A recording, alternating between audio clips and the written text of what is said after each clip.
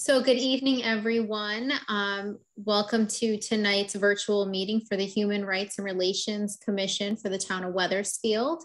Tonight is March 9th, 2022. Um, and it is 7.04 p.m. And we will get started with um, seeing who's in attendance and the meeting is being recorded.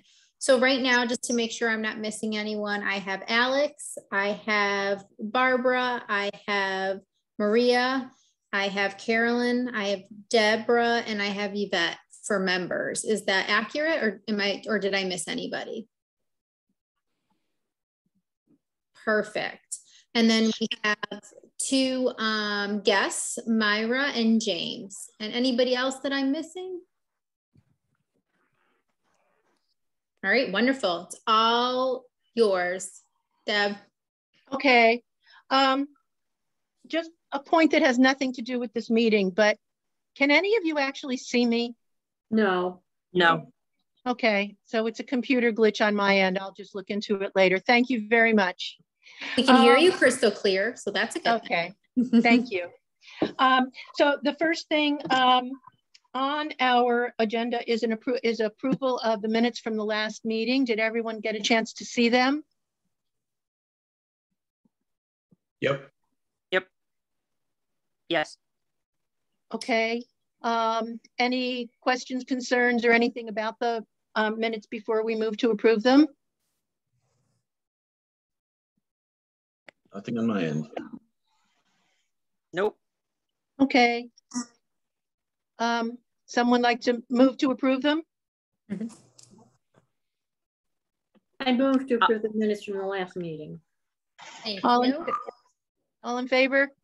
I just need a second. You need a second. I'll second. What? Oh, Alex did. Uh, we just needed a second. Yeah. Okay. Second it. Okay. And we had all in favor, was that? I'm going to abstain because I wasn't at the last meeting. Okay. Okay. Perfect. Okay. So um, we have yes. two guests with us tonight. Um, Myra Clark Siegel and Jay, Jay Toolin. Jay, do you usually go by James? Jay. My, okay. my given name is James, but I go by Jay. I was Okay. going to correct Erica, but she was Oh, nice enough to send me the link again this afternoon. So okay. I didn't. I I- wasn't going to do that. I will mark you down as Jay, I promise. Thank you. Okay. Um, well, actually, um, Myra is here to speak briefly with us about um, a resolution that I shared with everyone in an email about our commission adopting um, a resolution to accept um, a definition um, that she will tell us more about. This came to my attention through Jay. Um, so he, I'm sure he will also want to add a few words about that. Which one of you would like to start? oh, looks like it's Myra. Okay. okay. I, Myra, I, thank I, you for your time. thank you, Deborah, and thank you everybody, and and and uh, special thank you also to Maria Alfonso, whom uh, I had the pleasure of uh, speaking with at a prior briefing um, that Jay actually had organized for chairs of human rights commissions um, in Connecticut. So I thought, if it's okay with you all, first of all, I'm going to see timing. How long do you want me to speak for? And then have some Q&A. I just want to be very mindful of your time and, uh, you know, do whatever is amenable to you all. Um, I was thinking 10 or 15 minutes, and then I'm sure there will be questions for you. Okay. And, you know, I'll try to save you some time even within that. We'll see what we can do. Okay. Um, so, you know, I want to, first of all, again, thank you all and thank Jay uh, for really bringing this opportunity to have this important conversation about anti-Semitism together. Um, my name is Myra Clark Siegel, and I'm the Regional Director for AJC Westchester Fairfield. But our name is a little bit of a misnomer because we actually work throughout Connecticut. AJC, just as a little bit of background for you, is uh, American Jewish Committee, and we are the oldest Jewish civil rights organization in the United States. We were founded in 1906, And part of what we were founded on, literally the day that we were founded, uh, continues through our work every single day, um, including and until today. And that is ensuring civil rights and human rights for everyone. And part of that is also combating anti Semitism. And that is really one of the hallmarks, I think, of AJC's work. It's our interfaith and our intergroup work that we do. We are very proud of our interfaith and our intergroup work. We are nonpartisan. We are fiercely nonpartisan because we believe that the issues that we work on are too important to be attached to any one political party or ideology. And I just want to mention a few examples of our interfaith and intergroup work just to give you a sense of the scope. We have uh, a um, formal partnership with many, many organizations, interfaith and intergroup organizations. And we have official, um, a Muslim Jewish Advisory Council, a Latino Jewish Leadership Advisory Council. Um, we have an entire institute for Asian American Pacific Islander focus. In fact, we have stood out very strongly and uh, proudly in terms of addressing the issue of Uyghurs in China and the, the horrific experiences that the Uyghurs are, are facing in China. With the Black community, we uh, helped launch the Black Jewish um, Congressional Caucus, both in the US House and in the US Senate. We have a formal partnership with the National Urban League and with the US Conference of Mayors. And these are just a few examples. The other thing that also sets AJC apart from any other organization is our diplomatic outreach. And I want to just mention, as Ukraine is in our hearts and minds, and everyone who's innocent civilians in this situation, AJC was the first and, in fact, the only Jewish organization that called for Ukraine's renewed independence in 1991.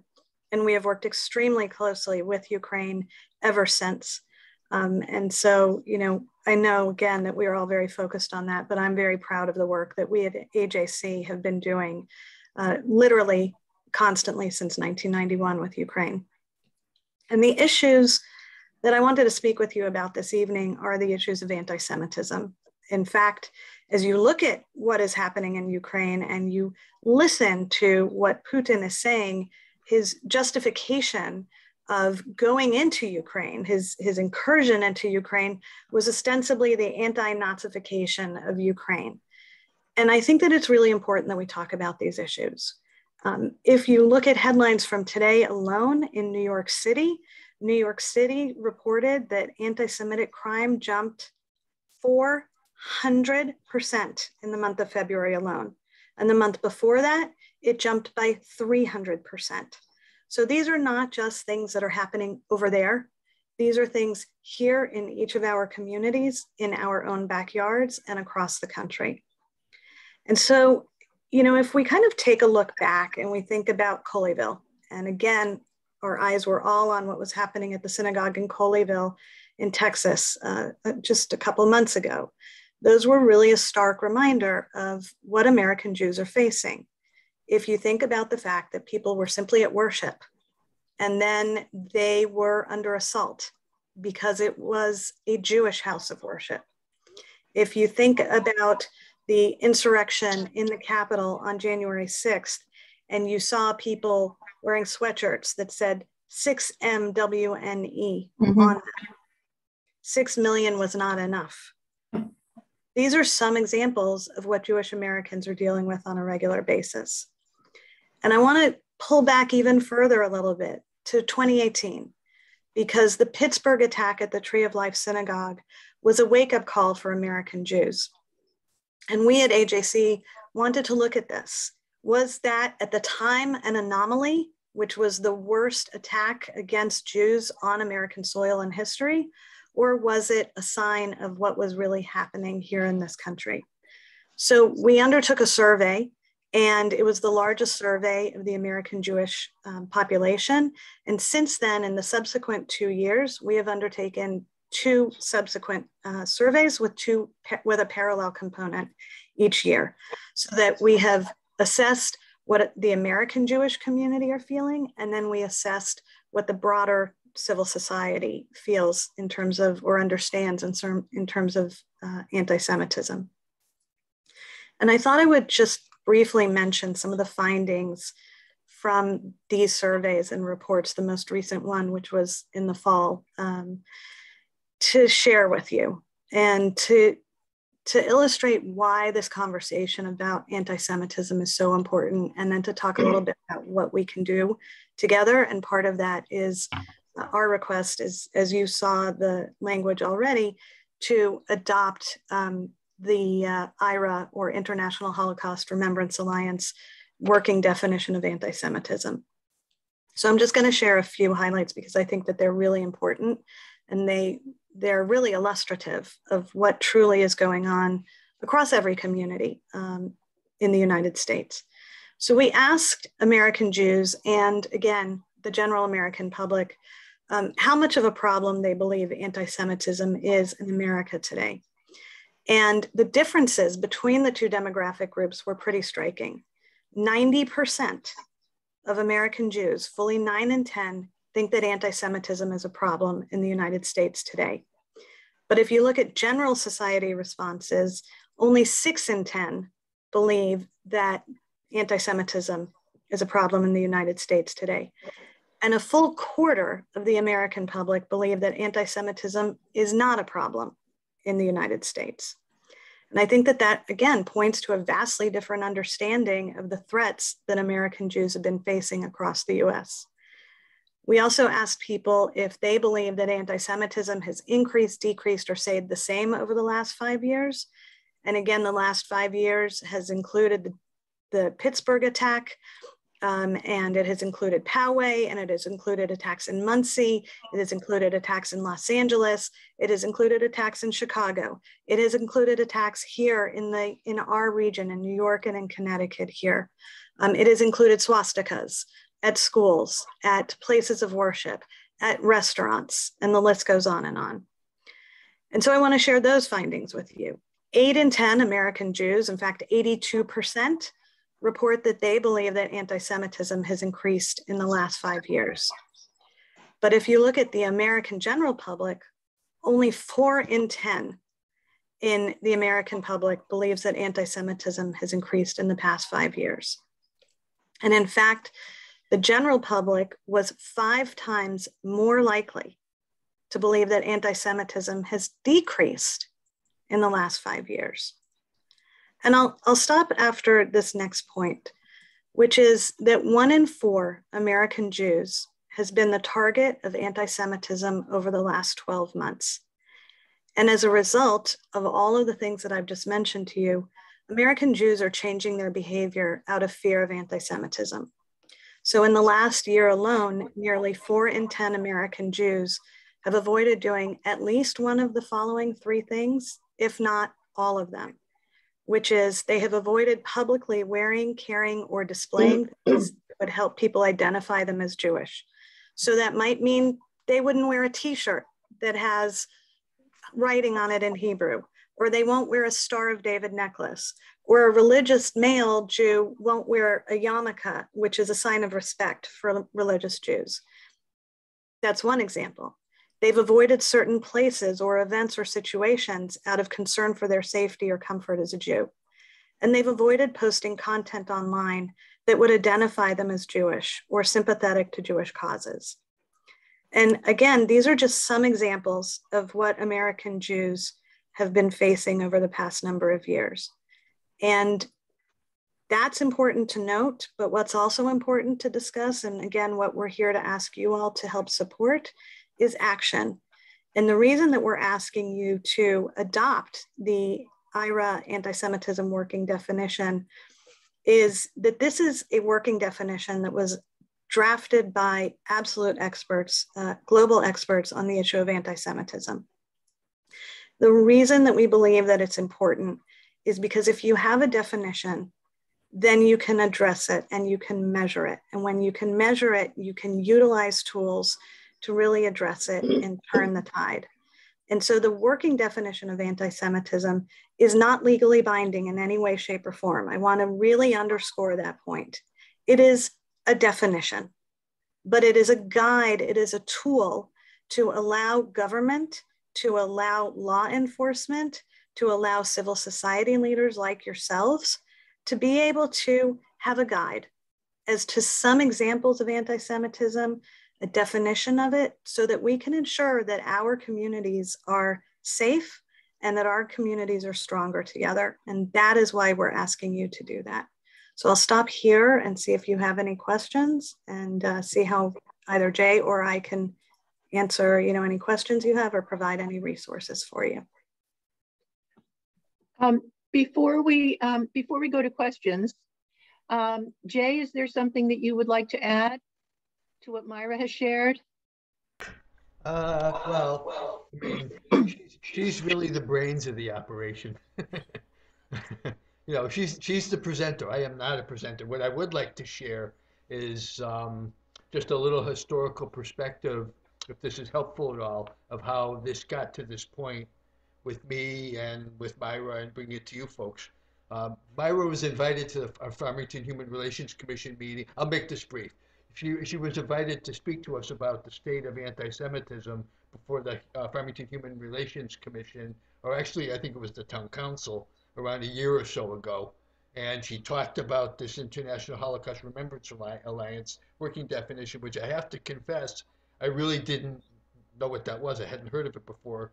And I will say it really struck a nerve for me. So I did a little bit of research, uh, reached out to Myra, who has been, you know, willing to, I guess, do this tour of towns that we're doing, uh, that we're doing. So it, it struck a nerve with me. We, you know, we did talk, and um, as you know, Maria, Deborah, and a few other of you uh, from that were at that collaborative meeting, which is a group of I think 15 towns that have similar commissions that we've met three or four times now, um, was was also willing to move this forward. So we've gone to I think this is the seventh or eighth town.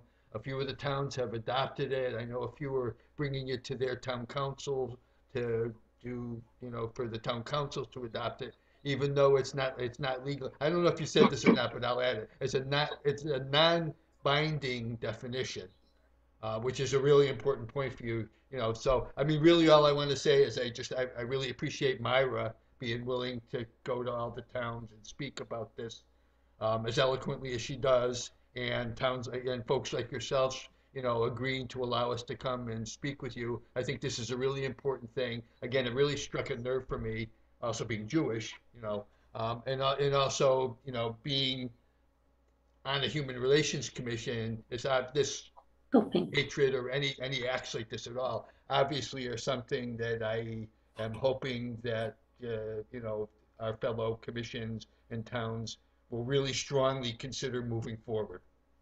And just thank you for giving me a couple of minutes to talk. Thank you, Jay. Um, is there anybody on this call who did not receive a copy of the definition that we are discussing tonight? Is there is there a need to put it up on a side screen, which I don't know how to do?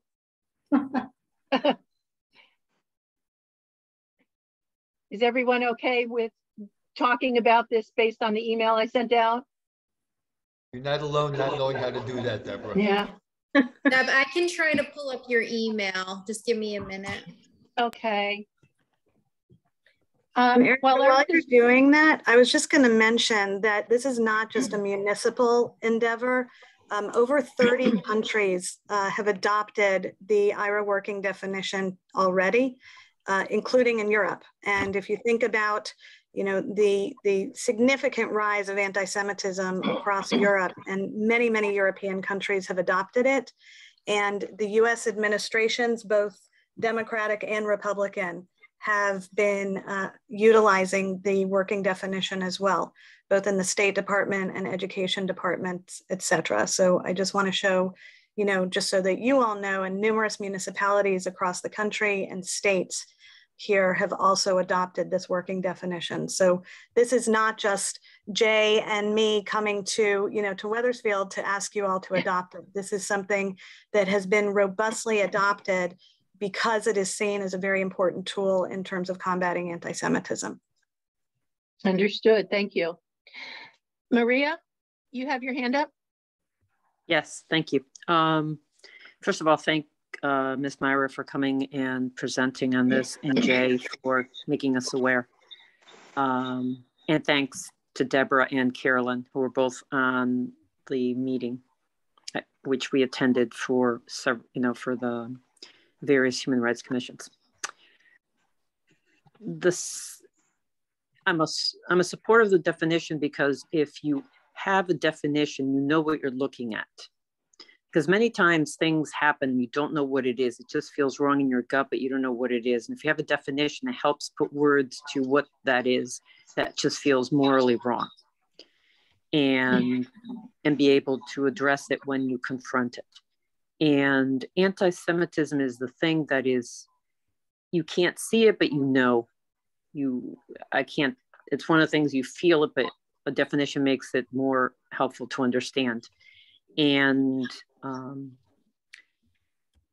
in recent events, I'm going to just use the situation, or I should say the invasion of Russia by Ukra- in Ukraine. They, to a point of why definitions are important. Um, one of the primary CNN reporters, I think it's Acosta, was interviewing, I think, the head um, rabbi for either Kiev or Ukraine, and I I can't remember which one he was. And he was interviewed about the President Zelensky, and the reporter said something essentially, well, why are they talking about denazification as a justification for the invasion when you have a Jewish president? And the rabbi immediately corrected the reporter, the American reporter, and said, no, he's the Ukrainian president of all Ukrainians who happens to be Jewish. Now, I don't believe that the reporter intended in any way to be offensive, but that distinction I got immediately, which is to present him as a Jewish president as opposed to the president of his country allows Nazi factions, which exist unfortunately in Russia as well, to use that in a campaign against the country by saying they have a Jewish leader. And I don't think it's coincidence that in the multiple bombings that the Russians did, they made it a point of bombing. I think it's the only Holocaust memorial that they finally spent millions of dollars with a lot of effort to build in Kiev. It got bombed. Of all the targets, I don't think that was coincidental. So to have a walking, working definition of anti-Semitism helps you understand what, what words mean, what they don't mean, how they're used in imagery in every conceivable way. So that just reminded me of why definitions are helpful for people to understand. I also appreciate uh, Myra talking to me because I had wanted clarity on some of the language with that of the definition that basically talks to criticisms of Israeli policies um, because I have disagreements, strong disagreements on certain Israeli policies, but I can make the distinction between a policy mm-hmm. and how that can be used by some to attack Jewish communities throughout the world. And you can't, you know, the notion of you make a person a whole community responsible for the decisions of decision makers in a set time, in a set place, in a set country. That feeds into that narrative. Um, so I wanted to say thank you very much for addressing that because that is also forms of anti-Semitism. You use something else that's legitimate criticism to basically attack a group of people, just like you choose to point out that the president of Ukraine happens to be Jewish what do we care? I mean, I respect his pride of his heritage, and I believe, unfortunately, he had many relatives who died during the Holocaust. But that doesn't um, give, you can't use that as an excuse for other intentions. And I sadly, I think that in the case of Putin, he is using anti Semitism for personal effect because historically, Soviet Union, what used to be the Soviet Union, which included Ukraine and Russia had a lot of anti Semitism. And I can say that from having the pleasure of having one of my grad professors, Professor Yofi, who was a famous dissident he didn't, even though he never viewed himself that way, he was able to get out because of the international pressure. And his crime, if you will, was basically he was an intellectual who happened to be Jewish in the time that you couldn't be both in the Soviet Union. So, thank you. Thanks, Maria. Um, Yvette, it looks like you have your hand up as well. Thank you. Um, yeah, Myra, I was wondering if you could just provide some insight. I'm just curious on what would be the pushback that you hear from whether it's other towns or other commissions that don't want to adopt this definition and, and what is the reasoning behind that? Can you just share a little insight in, into that? Sure, of course. Um, we have not found so far, I mean, you know, this is a pretty new initiative in terms of talking to um, communities and, and town councils in terms of the IHRA working definition here in Westchester Fairfield, um, or I'll say Connecticut, because really it's all of Connecticut that we're working with. So we have not really found pushback um, in terms of adoption. And I think that really it's just each municipality has its own process. In some cases, a municipality may uh, adopt it by executive order of the mayor or the first selectman or the town supervisor. In other cases, the Human Rights Commission wants to look at it first and then wants to take it to the town council, et cetera. So I really think that it's much more about each community's process rather than pushback or anyone saying that they don't want to adopt it. It's okay, a great question. You. Yeah, that makes sense. Thank you. Yeah, of course. Are there more questions for Myra? Um, Deb, I just wanted, is this, can you guys see the email I just put up? Is this what you're referring to, Deb? That you yeah, the, the, okay. the, um, the, the item in number three, I think, okay. is the correct one. So Myra, I have a question for you. Sure. because I always like to push things a little bit further down the road than than, than the pace at which they're going. Um, I'm definitely in favor of, of us supporting this. But in your view, what do we do next? Mm-hmm. Um, and I will say, with all due respect, I've really been thinking about this a lot, and I do not mean to. Um, I don't mean to offend any effort that any individual or group makes towards making things better, but beyond the rallies and beyond the vigils and beyond the resolutions, I think that we need to take further steps to actually do something. So, could you share your vision for where we would go after this? Um, thank you for raising that question. Uh, it's it's a really important one. So I will tell you that a couple of years ago. So there there are a few things this is a step, it's an important step. But if it is a piece of paper on a shelf, it doesn't do much good. So then one of the things that I think is really important is to also be training government officials and law enforcement, for example, um, and the DA's office, et cetera, on these issues so that they have an understanding of what it is. Um, earlier this year, or in 2021, I should say, uh, the US Congress passed the No Hate Act, which was a really, really, um, it was called the Jabara Heyer um, Act. And this is a piece of legislation that AJC was very, very involved in supporting. Why am I raising this? Because the No Hate Act was designed to provide federal funds to states to be able to do training for law enforcement and government officials to be able to track hate crimes. And that's part of it. Oh. but but part of that means that that training has to happen. And part of what we are doing actually literally next week is um, we have funding from the department of homeland security. We are doing training literally next week. It's called tackle. And uh, it is about tackling bias tackling racism tackling islamophobia tackling anti-semitism for government officials, for law enforcement officials, et cetera. So we have a three-part training that we are doing with professionals, actually from a partner organization, a Muslim organization that we work with called Muflehun. to really do this training.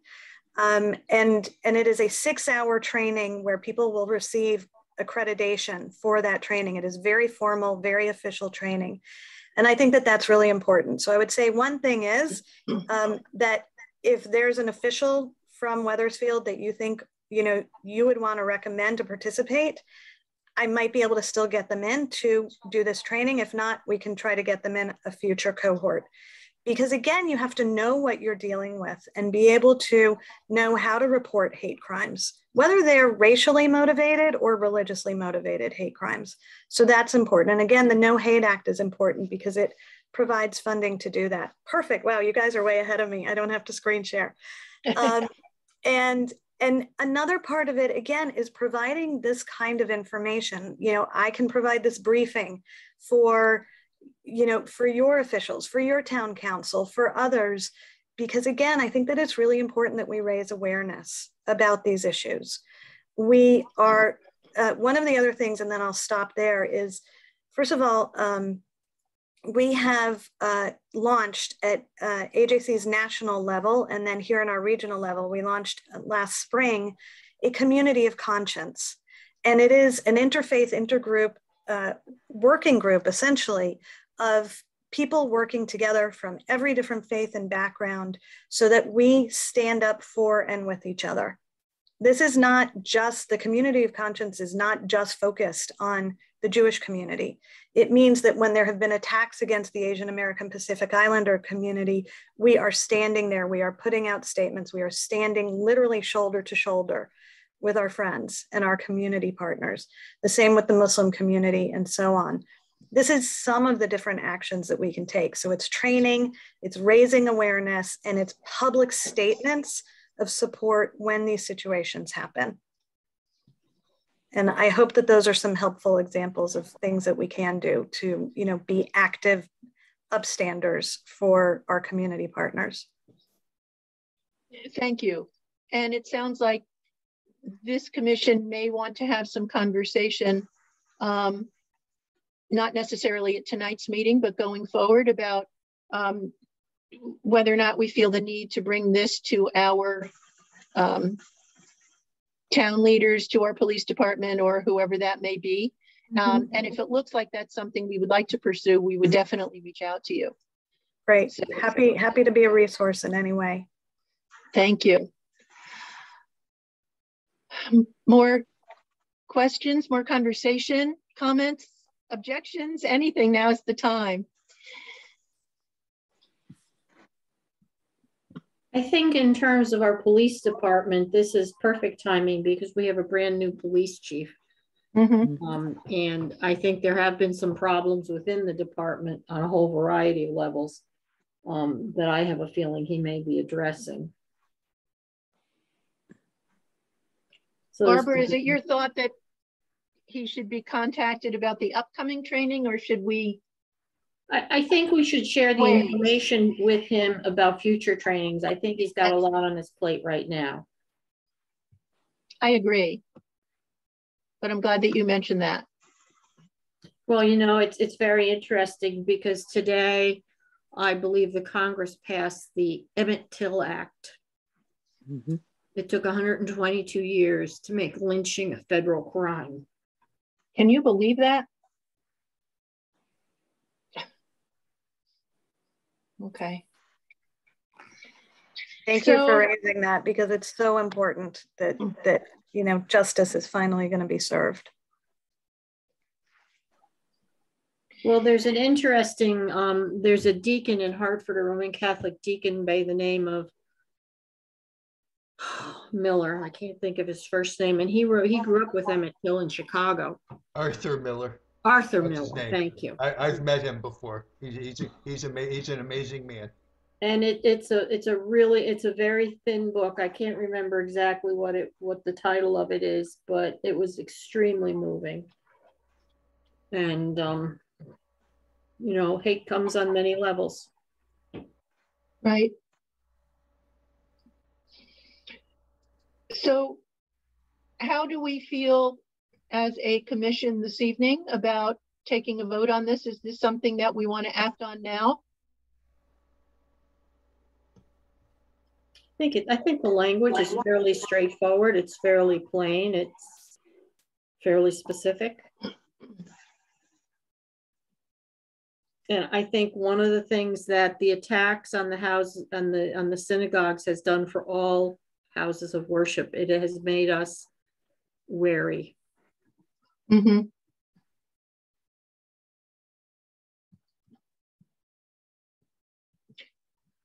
Um, I, I had a quick question. Maybe this question is more for Erica.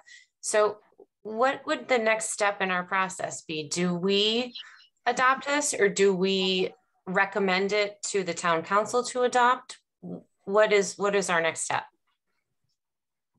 Um, if we want to pursue it with the town council, we would bring it to town council. I believe as a group, if we wanted to, as a commission, if we wanted to go a motion and vote on this um, as a group, we could do that as well. And then if we wanted to bring it forward, we would have to, you know, obviously bring it to town council. Erica, would it would it be possible for us to sign on to this and then um, sort of make an announcement about it at town council and say, we hope we're all united in this? I know that our mayor has signed on to something similar. Yeah, they've done a couple things over the years similar to this. What I can tell you, I know if you guys, I know you guys probably want to make a motion and vote on it, but I can ask about it tomorrow and get an email out to say like officially what we can do for um as a group or we can do a vote and then see see exactly how you know best to pursue it. Well my suggestion would be if we vote on this and adopt it what we could do is we could send an email to each member of the town council saying that the commission has has done some research we've looked into this we've adopted it and we'd like the town to consider it. We'd like the council to consider it. Mm-hmm. because what that does is it informally brings it before them rather than in an immediate public way, so that if we formally go to the town council, we've already educated them. I think that's a, a reasonable way of approaching it. And I think it also means that um, we skip the step of perhaps seeming like we're asking for permission. um, that's a whole other issue. But anyway, um, is everybody here comfortable with taking a vote on this this evening or are there any objections? And I can't see the full screen of everybody's faces. So rather than raising hands, if people would just jump in, that would be great. Well, this is for taking. Oh, this is Barbara. I, I just find. I, I, mean, don't take this the wrong way. It, it's an. It's important, but the language is very straightforward. It's very non-judgmental. It's very calm. Does that make any sense, Maria?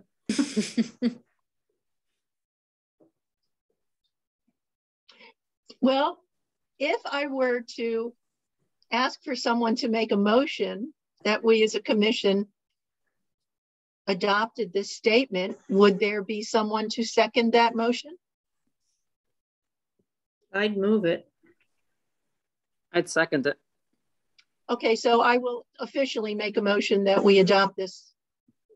You don't have, you're the chair. You can't make the motion. You no. Oh, I don't want to be the chair anymore. I want to make too bad. So bad. Which is why I moved it and Maria seconded yeah. it because the chair Thank you. Thank you. Um, I'm with you 100%, Deborah. I can't move anything either as chair okay. of our commission. And it's very well, frustrating. It's very frustrating. Well, I forget because we haven't done anything like this in a while. Uh, so am, is it okay if I ask um, for all in favor? Aye. Yes. Aye. Aye. Any nays? It's your problem, Kat. Any abstentions? Well, it looks like we have um, can I just have a, clear, a clarification of what the actual motion you want? The, The motion was to move the definition that we would adopt the, the definition. And you'll have to fill in the part about who defined it because I don't have it up on my screen. Excuse me, I have to untangle a cat from yarn. You guys mind if I share a couple of thoughts about this? I- Sure. I, I, I didn't want to impose on your discussion because it really isn't my place to. But um, you did raise some good points. First of all, thank you for taking this action tonight.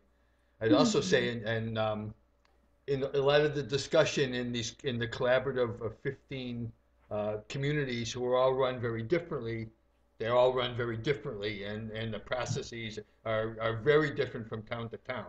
My take on this, I'm only speaking for myself, my take on this is that what I'm what I'm thinking, and again, I, I'm just talking for myself, is the reason why we we decided to bring this to human relations commissions, human rights commissions, or like yours, human relations and rights or rights and relations commission.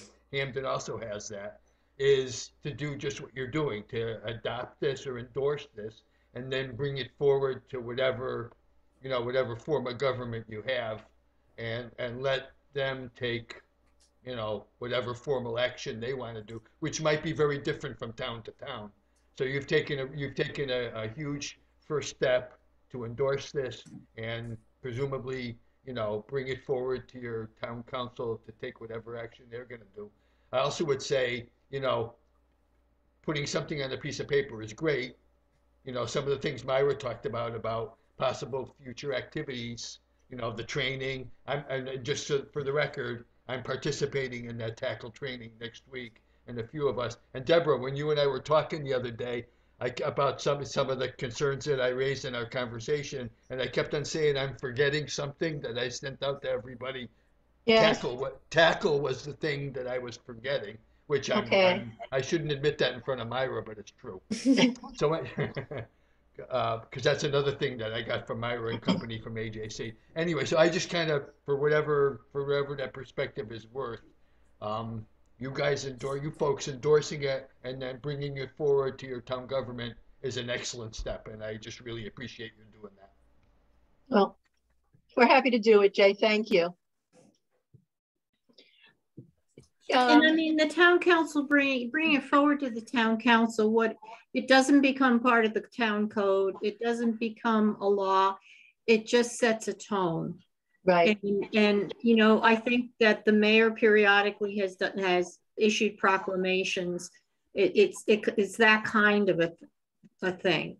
And it's, it's a form, it, it allows us to bring forward a conversation. I mean, I think that when, when Colleyville, Texas happened, when the Tree of Life happened, you know, people started to talk. And now we need to start to talk again because of what's going on in Ukraine. right. It's important Well- that we that we have this discussion because I I always am concerned that the communities who are affected directly self-censor for safety. And those of us who don't come from those communities have to work a little harder at it because we don't have that to contend with.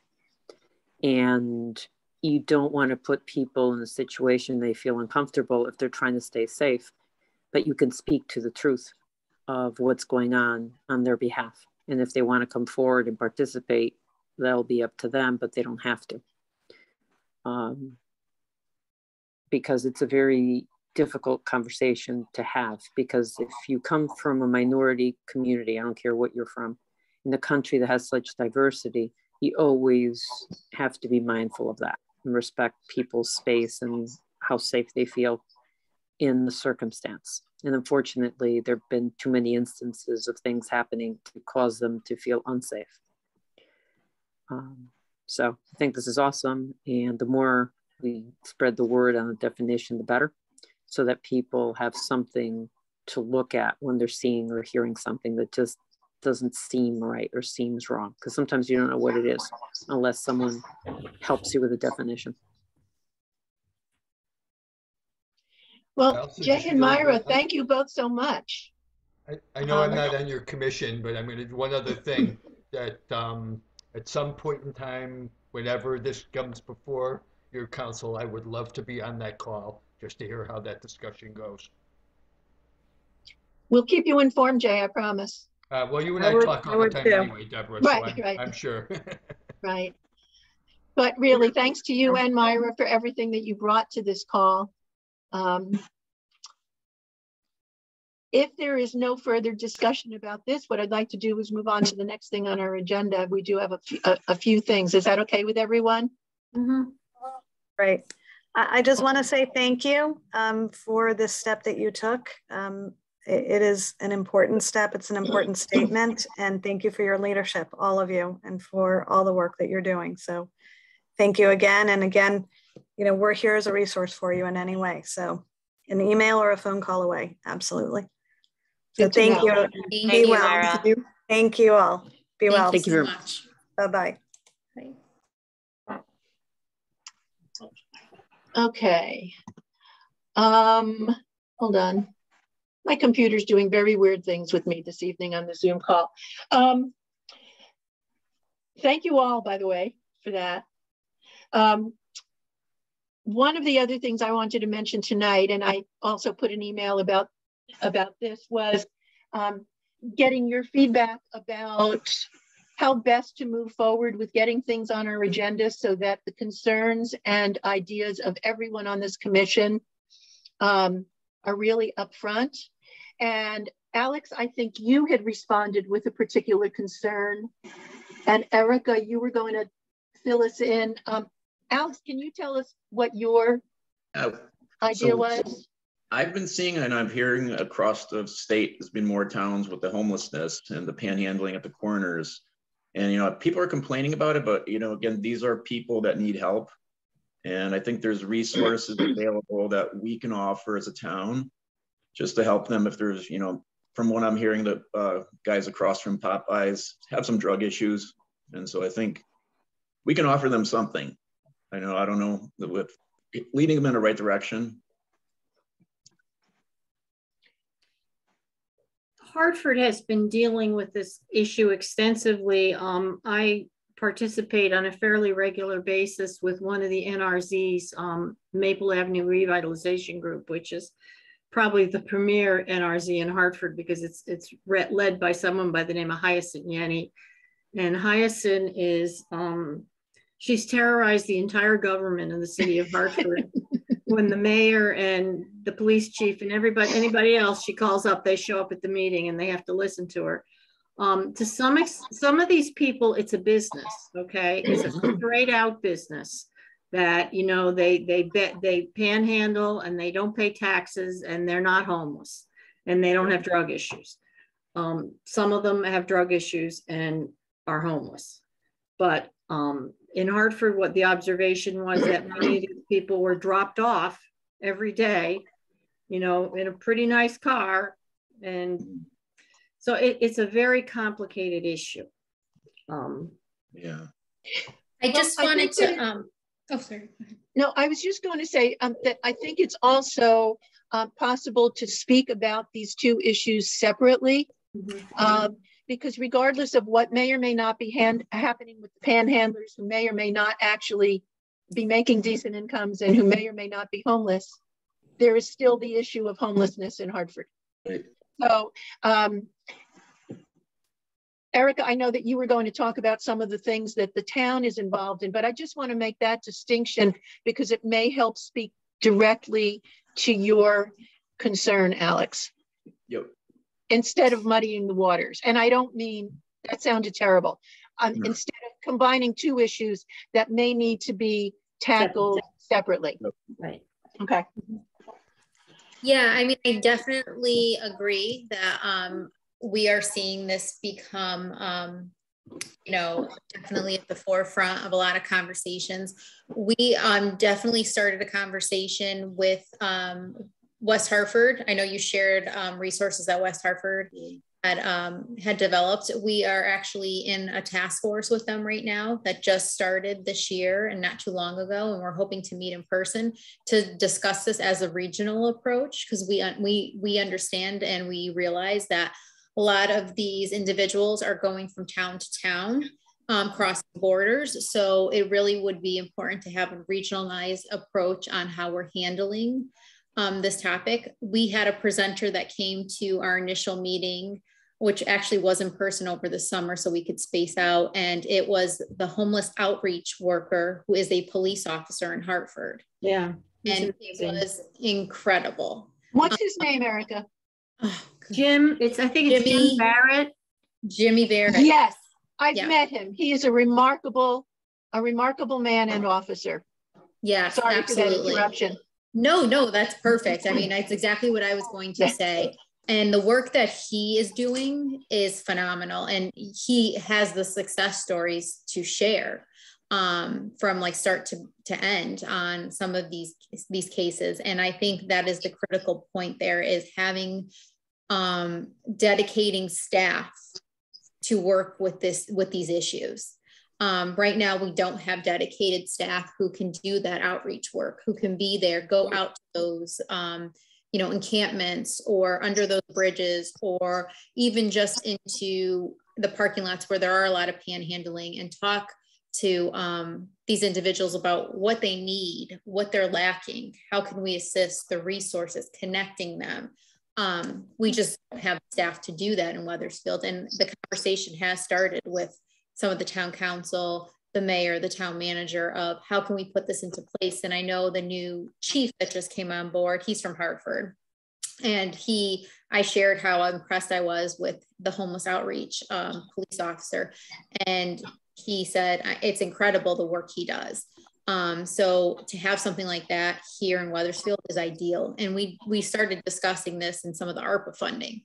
Um, like how do we use that money to kind of meet this need that's that's happening here in town and to connect these individuals um, to the appropriate resources and figure out what exactly is going on to the best of our ability. Um, so I just want to let you know that it is at the forefront and it's it's on the top of the discussions. Um, the chief and I definitely put a proposal together for the town um, regarding ARPA funding to hire a staff to be a clinical staff, but also do a lot of this outreach work. And homeless was definitely one of the uh, and panhandling was one of the criteria on what we think would would be needed for this position to fill. I like that. Sorry. I like the idea West Hartford had of it informing the public, you know, not to give them money, but to give them, you know, goods, because it's likely it hired somebody as well was right. to do this work. Well, you know, there um the Days Inn down on Airport Road um was recent, and I'm trying to think it, it was recently purchased by I don't know if it was Open Hearth or uh, was that who bought it, Erica, or Open Hearth? Um, I'm not sure if it was open heart, but they're they're converting it into a shelter, right? They're mm-hmm. converting it into yeah into a shelter, and you know the thought is that um, with the pandemic they've had to do a run the shelters entirely differently. And the other mm-hmm. thing that they can, you know, I kept looking at the nursing home on Jordan Lane and kept thinking this would make perfect um, supportive housing for people who are homeless. Though I understand the building is a disaster and they're probably going to tear it down but I think that that's kind of the model that's being looked at. Is you, it's not just you get people off the street for the night. You put them up. You, you have some sort of interim supportive housing, and you you put the services in place, and you move them on out. Yes, yes, having them have a roof over their head while they're where they're trying to wrap resources on them is critical. Um, I know during the pandemic, actually, Comfort Inn in Wethersfield was one of the locations where they um, had uh, they decompressed some of the shelters and placed them there. Um, so that was housing shelter residents for uh, for a while during the pandemic, um, and it seemed to be going well. Um, al although they did have shelter staff that was you know manning like the floors there and and still working um, for the residents, but the, the concept was was great, and I think to move forward and replicate that going is is would be incredible um, and working with 211 because we bring up often as social services we we often deal with residents who are going to be evicted and are might be you know couch surfing or moving from one house to another house And a lot of times those are not deemed as homeless because they mm-hmm. technically mm-hmm. have somewhere to mm-hmm. And that mm-hmm. definition needs to change tremendously because we need to be proactive uh, um, when people are first, you know, getting eviction notices or even before that when they're you know behind on a month of rent we need to be working with them then because once it gets to the point where they're truly homeless it takes so much more resources and work to to get them to where they need to be to sustain you know any type of quality of life Right. Yeah, I guess that was my kind of answer to my question that I was going to ask. But there are so many families that I work with in my role that are like they're not visibly homeless, you know, standing on the side of the street, but you know, are in danger of losing their housing or have been chronically homeless for years and have been gone from place to place, um, which might be something that needs to be addressed by social services, but not necessarily by a police officer. Um, so it, it sounds like that will be part of the proposal that you and the chief are working on. Okay. Thank it was you. actually a clinical staff to work within the P with the PD and social and um, youth and senior services. And we see that a lot, exactly what you're talking about, Carolyn, um, with you know the motels and the hotels on uh, the Berlin Turnpike and then the Comfort Inn in Motel Six. There's there's definitely individuals and families that are living there um, mm-hmm. for long periods of time, and it's not stable, you know, sufficient housing. But when we try to get them resources, because the hub of all types of housing has to go through 211 right now, and I'm sure you're aware of that. So you have to call them, and it's, you know, the connections they connect through, you know, shelter diversion and getting a case manager and getting them into shelters. It's a whole process. But a lot of times, if they have somewhere where they're staying currently, they don't consider it homeless yet. And we struggle with that it's kind of like my clients who are trying to get clean and sober they have to get they have to use so they can go into the emergency room and get referred. I, I mean I, I i've had to tell clients go out and drink. It's crazy. Erica do you do you see um, somewhere down the line um, a place for this commission to do something creative and helpful on this issue? Oh yeah of course yeah. Absolutely. Um, I think that multiple commissions in town should be involved in those efforts. Will, and will you keep us updated on what that might be and how we can? Yeah, absolutely. You know, collaborate. Mm-hmm. Alex, thank you for bringing it up in the email initially, and look forward to uh, getting some new updates. Absolutely. Did, you have any other questions, Alex, that I, that wasn't covered? No, that pretty much covered it. Okay. So. Okay. Um, and very briefly, because I know we've got two other things to do and it's getting late, but um, but part of part of my last email was just asking if anybody had thoughts about how we set our agenda. Does anyone does anyone have um, well, let me be blunt. Does anybody have an interest in um, group input into each month's agenda? I, I think if, if someone has has something that they want to put on the agenda, they just email you, Deborah. It's not. Or, I mean, and the thing, the other the other thing is with the agenda is is you can just have a basic agenda, and at the beginning of any meeting, if someone has an issue they want to raise, you just amend the agenda. The agenda is a roadmap. It's a tool. It's not. It's not a gate. Okay. Well, to be honest with you, the reason that I had sent that out and that I wanted to raise it here is because as a first time chair of anything, I want to make sure that um, that I don't have undue influence on what is discussed. So I just want to make sure that the that the floor is clear and open to everybody. Does that make sense? Yeah, no, I think that's very thoughtful and um, accommodating. And I would just say um, if anytime anybody does want something on the agenda, which this group is wonderful with sharing information via email, just make sure to send me an, um, an email regarding what you want on the agenda by like the week um, prior to our meeting. Thank you. And, and Barbara, I, think that, I'm sorry. No, I just was going to say that I have to have the agenda to be posted um, by the Friday prior to our meeting. Okay. And Barbara, I appreciate what you said. Um, and I know that the agenda can be expanded during the meeting, but very often we might want to bring, have things on the agenda and ask people to think about them before right. we gather. So, okay. I'm a very liberal agenda person. and I try to always put on there like new items so it gives the opportunity for a discussion to be had. Right, right. Um, well, the next thing on our agenda under continued and new business is an update and feedback on the Wethersfield Social Justice Coalition. Yeah, I just wanted to keep that on there because I know kind of intertwines with kind of the work of this commission as well. Um, they're still meeting. We actually are going in person again. So I wanted to share that with the group. Um, it's going to actually be a hybrid approach. So a lot of people want to come in person, but you are able to log in as well. We, it will be held at the high school going forward because they have the capability of doing remote and in person at the same time through different um, classrooms in the building. So actually the next meeting is full coalition meeting is tomorrow night. Um, so you can register to uh, log on remotely or you can actually be in person.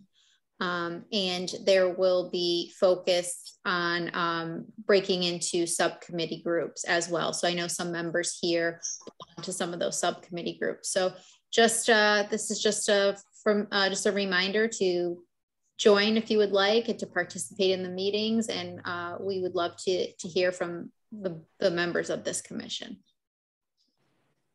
And that reminds me that I'm on the subcommittee for um, community outreach and policing, which may tie in in the future into um, offering some training opportunities. So we'll be able to work together on that.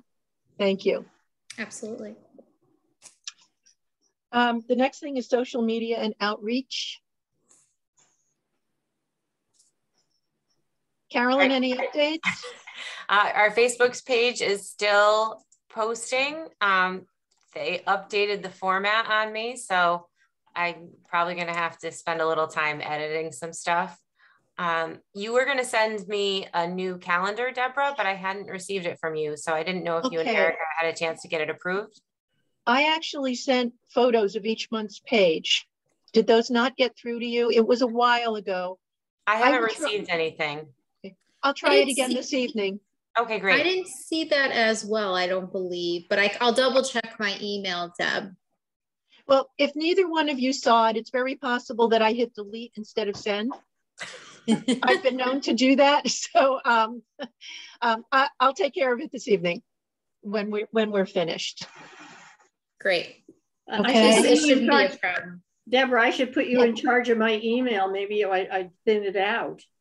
Well, that's what I've done with mine lately.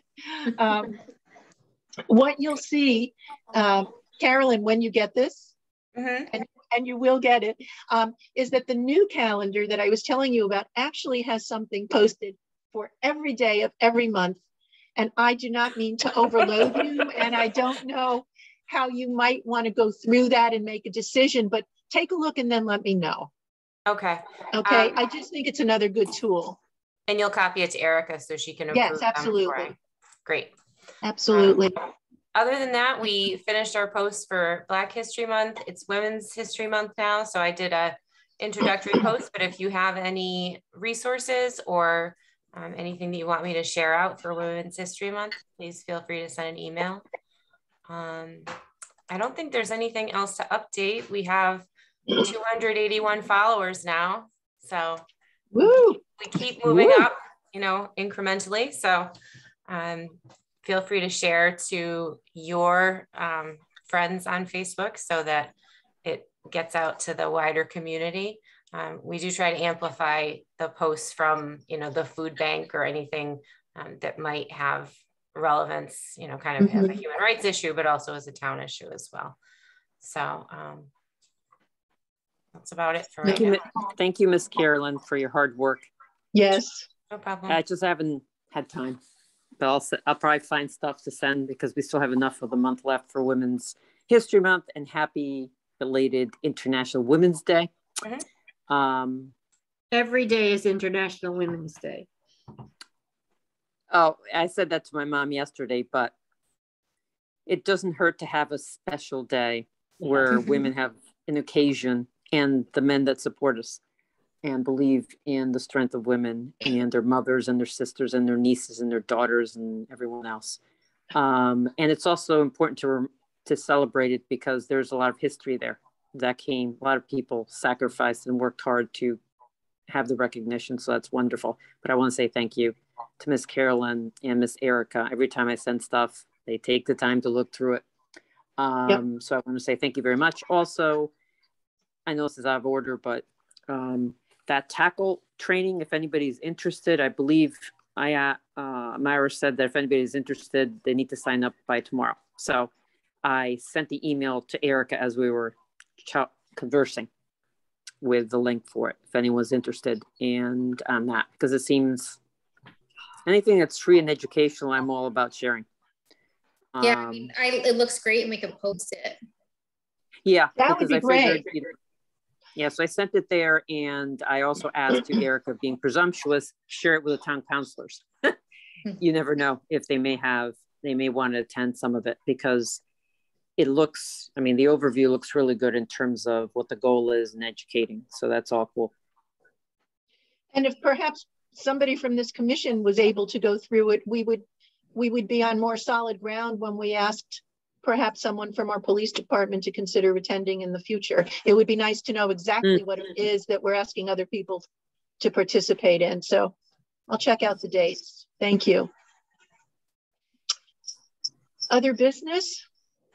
I just have one thing, Deb, if you don't mind. Um, Not at all. That town, uh, the town has been opening up to meeting in person. I just have to ask all the boards and commissions that I'm involved with um, what they would like to do in terms of being remote or going in person. Um, we have to choose one or the other. Um, and we can't do, uh, we can't go, you know, flip flop. We can't do a hybrid right as of right now. So we just have to make a decision as a group um, what we would like to do going forward. Our next meeting isn't is anticipated for um, May. So just want to put that out there. I think we should have in-person meetings when the weather is nice and Zoom when it's not. so in the winter we should we should be on Zoom, and in the in the spring and summer we should be in person. That that that's a bit of a snippy comment, but I kind of like it. like it, but we can't we can't we can't do. Um, it has to either be all in person or all um, remote. Well, we could change our mind partway through, couldn't we? I'm still in favor of the remote meetings. Because uh, I cannot agree with that, Barbara, but I hear what you're saying. Okay, since you're asking the question, I would prefer continuing the way we are because that way I my odds of making all the meetings are greater. I don't know if that's the same for other that's folks. True. Mm-hmm. I, I don't have a preference really, um, but I would certainly, uh, I'll, I'll, certainly go with the majority vote. Um, Zoom does have its its perks. Like none of the you know what I'm wearing. None of yeah, you know what I'm perk, wearing. yeah, I, well, the other perk it has right now, since the gas prices are going to go are going up, yes. and they're probably going to go up higher because this conflict doesn't look like it's going to be resolved anytime soon. I wish to be wrong it saves us gas for all of us. Yvette, Alex, how do you feel about this? I like in-person meetings. I'm not a fan of well, you just muted yourself muted. also, Alex. Yeah. Pretty decision. Yeah, we're Wait, trying you, to You muted saying. yourself halfway through what you were saying. I was getting a phone call. This is oh. Can oh. you hear me? Yes. yes. Now okay. we do. So you prefer in person? I prefer in person. I'm not a, usually always getting an echo in the background or something going on, but I'll be happy to to continue with Zoom if everybody feels more comfortable with Zoom. Yvette? Uh, I just kind of having a very, very random schedule. Um, just kind of like the other sentiment that it just for me personally, I it's much easier for me to be present when it's um, Zoom. Uh, so that would be my preference. It sounds like majority are going with Zoom right now. Let's just say for right now. Let's just okay. keep it that way. Um, I don't know if we if we need to necessarily take a formal vote because um, we kind of got the sense here. Is that okay with you, Alex? Yep, that's fine. Okay. Thank you. So we are right now continuing on Zoom, but I would love to schedule something like a retreat in the summer so we can get together. But we can talk about that at our May meeting. But it is something that I find to be very helpful. And it usually has to involve food. Absolutely. And drink. And beverages. One of the yes. most fun meetings we ever had with the Youth Service Advisory Board was a June meeting where we brought a big salad bowl and everybody brought something to put in the salad. And it was it was just amazing. Nobody brought the same thing. I mean, everybody brought something different. Interesting. Mm. It was unique. Okay. Well, it's eight. It's eight fifteen. Do we have more items? No, that's all I needed to get clarified. Um, just okay. to back to the town what we were doing for the time being. I move um, down. Before we move there, I just couldn't do what I did at a different meeting. Is can yeah. we have just a moment of silence for Ukraine? the children, the mothers, the fathers, the grandmothers, anyone I'm forgetting who is fleeing as we yes. speak. Mm-hmm. And I include in that the the Russian people who are sitting, they're just sitting there, not being able to do anything other than protest. And when they do, they get arrested. And God knows what happens are trying when they're to find detained. out where their children are. Yes, or parents who one is in Poland and the other went back and they don't know when they'll see each other, if they'll see each other again.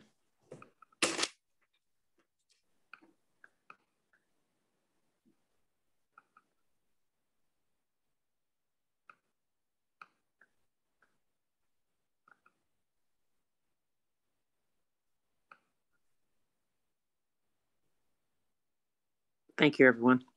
Appreciate that. Thank you, Maria, for, for thinking of doing that. Maria, I want you to know that partway through the day, my mother said she had enough of watching CNN.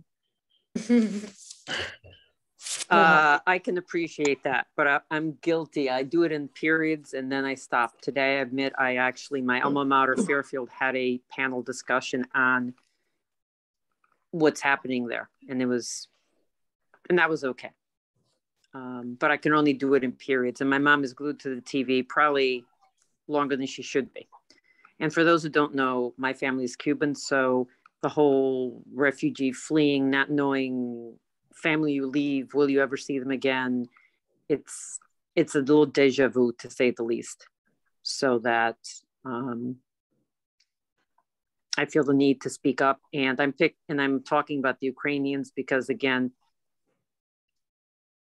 I don't like Russian government for lots of reasons. Um, they invade in many ways. Ukraine is the extreme example, but they're everywhere. They meddle where they shouldn't be. Um, so, but it, and please understand that it doesn't mean I don't care about the refugees elsewhere because there are plenty of them in Yemen and in other parts of the world, and the suffering is still the same. Doesn't matter what they look like, what they sound like, that experience is, it's the club you never want to join, is all I can right. say. It's and a club Maria, you pray never to join. And yes. Maria and I are a little bit of a tag team on this from the other meeting. My mother fled the Russians. My grandmother lived under Russian occupation, and um, I think I think my brother and I think my mother's been watching CNN because she wants to make sure the Russians aren't coming. And yesterday she told us we had to go to the grocery store and stock up on lots of canned goods. Yeah, my grandfather used to say that he used to buy green beans. And I remember asking him as a kid, why are you buying green beans? We don't even eat green beans. He said, because you never know. Right. Trauma yeah. moves on. Trauma, trauma keeps going, even after the event. Yeah. Gener there's generational trauma. Right. Yeah. And if that and if that wasn't here on a lighter note, just to make it a little lighter, my husband is half Lithuanian. Okay. The reason I mention that is my mom obviously would have preferred if I married in the community, if you will, but I didn't. But the first thing she said is, "Oh, good, he's Catholic, and he, and I know where they are, and they don't like the Russians." well, oh. Barbara, do you want to make your motion atheist, again? But... Okay, I move we adjourn. Okay, so it's 819. Need a second. Second. Any second? Who seconded? I did. Thank you, Carolyn. The school day starts early. Thank you. All right. And our next care. meeting is May 11th. Via Zoom. Via Zoom, correct. okay. That, All right. Thank you, everyone. All right. Good night, thank everyone. Thank, thank you, everyone. And thank you, Alex, for raising that issue. Yes. we all see every day as we drive yeah. by. And right. it's like the issue you look at and you're like, what do you do? We'll talk more. Yeah. Have a good night. Bye. Good night. Bye, all.